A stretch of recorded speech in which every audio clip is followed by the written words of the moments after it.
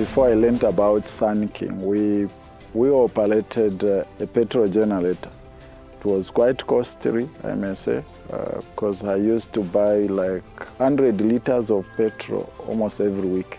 So uh, I wanted to find uh, if there is a company that would give me specifically the lighting and the powering uh, school gadgets. I landed into Sun King. So I began to inquire what uh, service uh, can I get from them because I needed to learn a fridge and that's how they advised me to the OM 8000.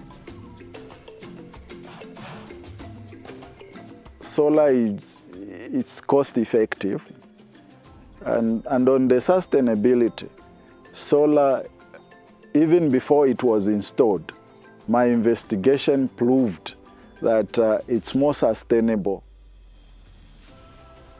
Education outcomes has improved definitely. We could see that from assignments handling, uh, research questions from uh, students, which indicates that uh, they have been having access to external education inputs than just the classroom. And that definitely will be done through browsing, which is as a result of their computers charged, their phone charged, which they use as hotspots. Students are very happy.